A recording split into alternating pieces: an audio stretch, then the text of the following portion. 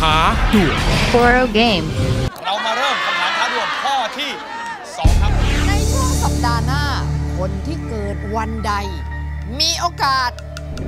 เสื่อมเสียชื่อเสียงเพราะถูกแอบอ้าง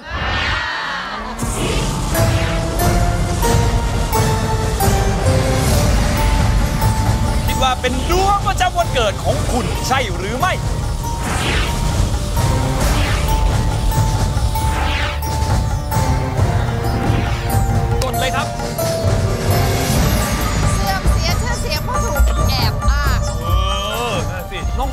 ตัวเองจะหนีพ้นไหมครับอ๋อไม่ใช่ ไม่ใช่ ไม่ใช่ ไม่ใช่ครับ ครับอย่างนี้ดีกว่าแบงค์ตอนนี้ครับแบงค์ตอบว่าไม่คุณแบงค์เออคิดว่าเรามีข่าวอะไรที่มันจะแบบเฮ้ยเออทำไมคนเขาจะมาทำมีไหมให้เราคิดว่าเสื่อมมีไหมเสียไหม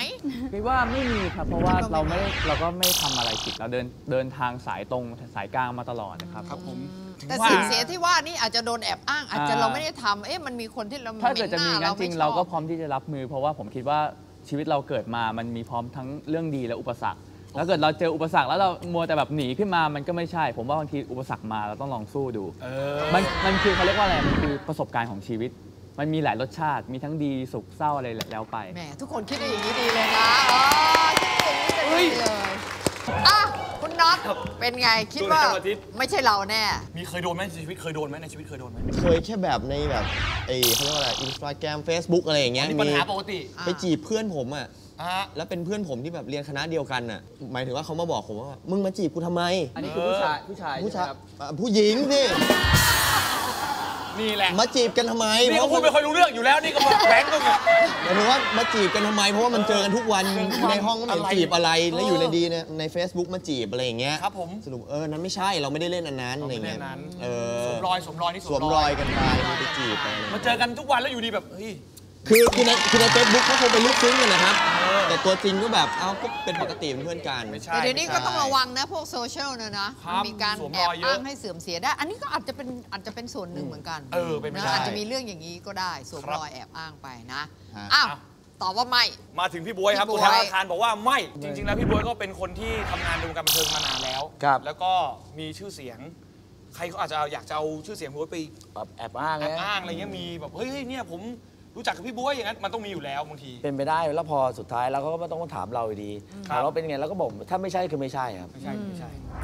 ครับก็คิดดีไว้คิดดีไว้ก่อนแล้วแต่แล้วแต่จะไม่ไปมีอ่านใครอแล้วยากแต่ให้เจอเรื่องแบบนี้นะคะเรื่องเสื่อมเสียนะไม่มีใครชอบ เพราะฉะนั้นชอบ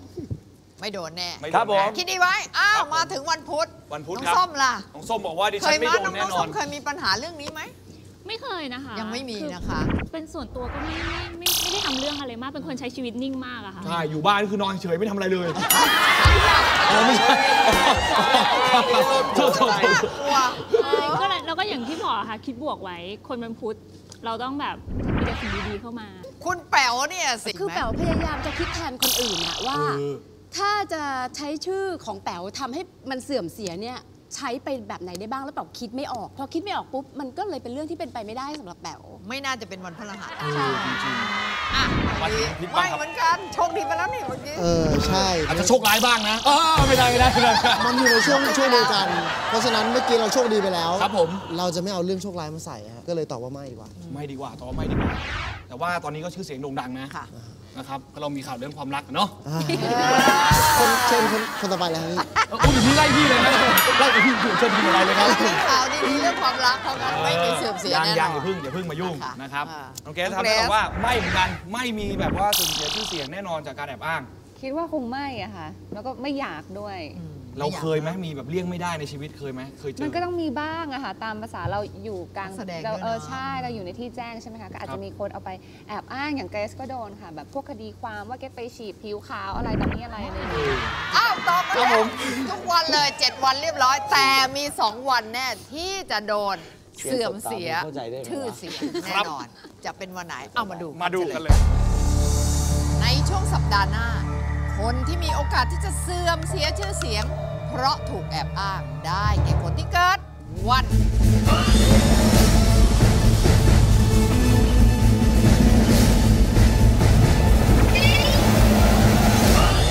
วัน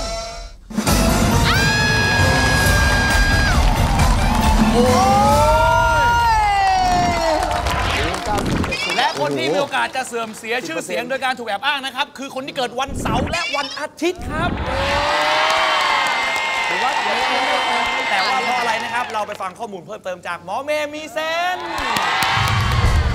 อย่าเพิ่งวิตกกังวลหรือว่าทำหน้านิ้วคิ้วขมวดไปนะคะสำหรับคนที่ออกมาอยู่ข้างหน้าแบบนี้นะคะผู้ที่เกิดวันเสาร์คะในช่วงสัปดาห์หน้าเป็นต้นไปนะคะ ถ้าเกิดว่าอะไรก็ตามไม่ว่าคุณจะได้ยินได้ฟังได้เห็นนะคะ ในสิ่งที่คนอื่นเขาอาจจะพูดถึงคุณในทางที่ไม่ดี บางทีคุณอาจจะรู้สึกว่ายังไม่ทันทำอะไรเลยทำไมถึงถูกมีชื่อเข้าไปแอบ ไปร่วมด้วย ในทางที่ผิดอะไรที่ผิดแล้วจำเป็นต้องแก้ไขขอให้แก้ไขแบบมีหลักฐานมีชัดเจนถูกต้องไปเลยค่ะ ถ้าเกิดว่าเกิดปัญหาแบบนี้บางคนใจร้อนอารมณ์เสีย แล้วก็พยายามจะพูดอธิบายพูดมากไปก็ไม่ใช่เป็นสิ่งที่ดีนะคะ เราพยายามนิ่งๆค่ะ ปฏิบัติตัวเราให้ดีค่ะ เราเป็นยังไงเนี่ยแหละค่ะ เดี๋ยวทุกคนจะค่อยๆเห็นค่ะ ต่อกันเลยค่ะสำหรับคนที่โดนเป็นอันดับที่สองนะคะ นั่นก็คือคนที่เกิดวันอาทิตย์นั่นเองค่ะ วันอาทิตย์คะอันนี้ก็ไม่แพ้กันเลยค่ะ อย่างที่บอกนะคะว่าคุณอาจจะต้องเจอปัญหาผู้ร่วมงานเนี่ยแหละค่ะ บางทีอาจจะเอาตัวรอดไปนิดนึงค่ะ พูดอะไรไปก็อาจจะแอบอ้างคุณว่าคุณให้นั่นทำแบบนี้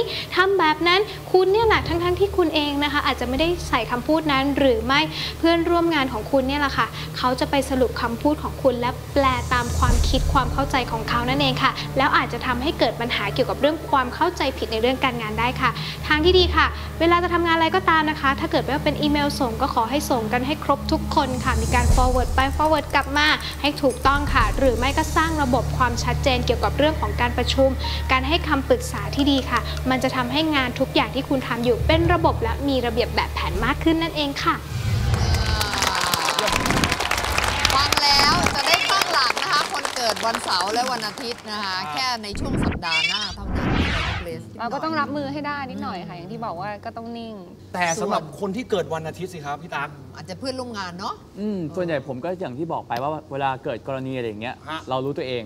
ซึ่งเมื่อกี้เขาก็ได้บอกอยู่ว่า อาจจะเป็นการเรื่องสื่อสารเข้าใจผิด เพราะคนสมัยเนี้ยรับสื่อด้านเดียว ผมก็เป็นคนที่พอรู้อะไรขึ้นมาก็นิ่ง เพราะผมว่าเวลามันจะพิสูจน์ตัวเอง ข้อนี้เป็นไงคะแนนเออคะแนนนะครับในข้อนี้นะครับเรียกได้ว่าสุดยอดมากนะครับ มีคนตอบถูกถึง 5 คนด้วยกันนะครับ มี น้องน็อตนะครับ พี่บวย น้องส้มนะครับ พี่แป๋วแล้วก็น้องพิษครับและคะแนนนำตอนนี้มีอยู่ 3 ท่านด้วยกันนะคะ ยังเหลืออีกข้อการงานการเงินไปแล้วครับตอนนี้เป็นเรื่องของความรักบ้างฉะนั้นเราไม่ได้ถามใครเรื่องความรักก็เตรียมตัวไว้ให้ดีนะช่วงหน้าเกี่ยวกับเรื่องของความรักใน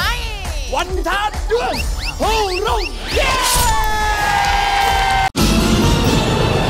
วันท้าด่วน 4-0 game.